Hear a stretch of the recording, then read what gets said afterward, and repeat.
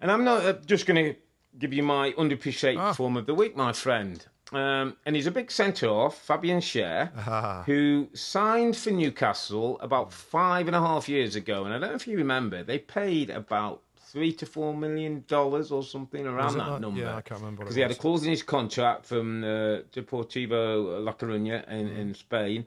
I think they got relegated. He had a clause. They bought him for, I say, three, four million dollars. And what a buy he's been, mate. It- It's less than a million dollars a year, you, you'd say he's, he's, he's cost them. Yeah. Uh, a brace on the day. Uh, Eddie Howe said he's got the ability at times, if we were struggling for a centre forward, when um, you know, Isak came off, that he said he could play up front. He's technically that good. Yep. He's Swiss international. Um, and, and the reason why I sort of he's my underappreciated mate is that he's one of those players who, who's totally kind of under the radar, not overly appreciated by anyone who isn't a Newcastle fan. I think Newcastle fans would, would, would know how him. important he's Yeah, been they- and they his relationship Yeah. with Bum, and they love him. But I think outside of that, no one would really talk about him. No one, you know, he's not a big name player. He's not a, a, a headline grabber. But Fabian Schar is a kind of player every manager needs and every manager would want in his teammate. Um, and I just thought his, his two goals and the way he plays and his defending and his attitude and, and you know, will to win uh, sometimes from, from the back it, has been a really big, big important thing. So uh, Fabian Schar, yeah, gets my underappreciated form of the week. I really like it because he's played every single minute.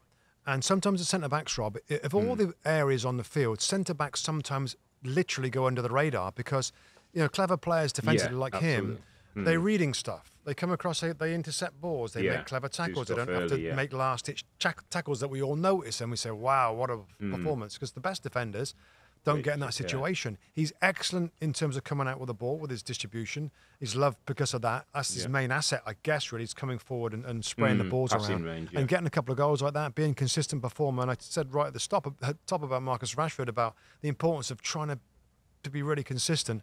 And I know there was a big article about Fabian Schar and how the fans absolutely love him, Rob. So it's a good shout to, to remind Yeah. everybody that sometimes centre backs that don't slide challenge or, or leap and head balls clear can be really um, important players. And Fabian Schar for Newcastle United really, really is. So I, I like it. It's a, it's a, he had a great game, both defensively and, of course, Yeah. getting a couple of goals. He's up in set pieces. He finishes off really nicely. He's quick to the second goal by reading the play very quickly. So, yeah, like it. And Newcastle United, wow. Great performance, yeah. Mm. One of the best of the weekend, Good really was. Hi there, I'm Rebecca Lowe, studio host for NBC's coverage of the Premier League.